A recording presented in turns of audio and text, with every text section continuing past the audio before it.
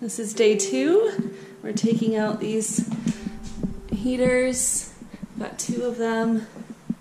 And hopefully there's no coolant because it'll make it a lot easier. So while Joe is doing the heaters, did our first panel. Whole bunch of wires, don't know what they're for. I'm gonna do all of this. See how long that takes me today. And look what's behind door number two. Some gross, dusty, moldy insulation. That's all coming out.